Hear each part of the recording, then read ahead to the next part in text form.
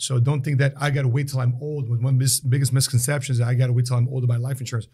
There's a reason why people can get a policy when a baby's nine days old. Mm. Who do you think instituted? Who do you think wanted the insurance company to issue a policy when a baby's nine days old?